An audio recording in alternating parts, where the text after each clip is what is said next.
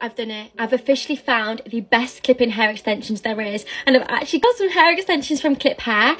And you guys keep asking me um, what I'm doing with my hair and am I getting a weave back? I don't need a weave when I've got these. These are the most incredible hair extensions I've ever seen.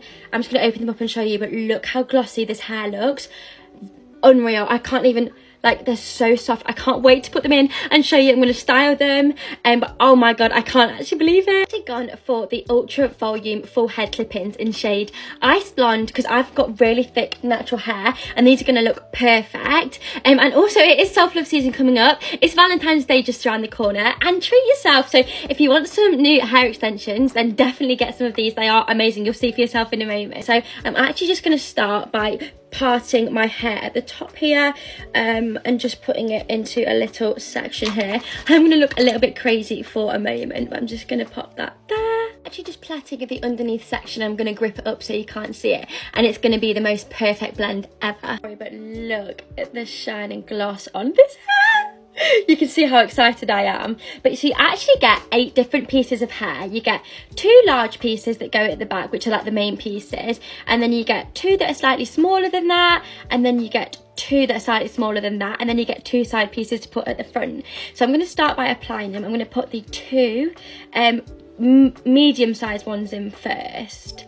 Um, so literally I'm going to unclip them like this smooth them out and then I'm just going to literally clip them in like that. They're so easy and simple. This literally take this will take me like two minutes.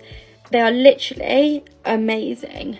Um, so that's them. And then i'm going to build on top of that and i'm going to put the um, large ones. These are the largest clips like this on top. I can do a more in-depth video if you'd like to see as well, but I'm just so excited to show you. These two bits, I actually like to literally clip them underneath here because I personally find that it's the, the way that makes it look most natural, like it's literally like coming out of my head. As you can see there, it's just amazing.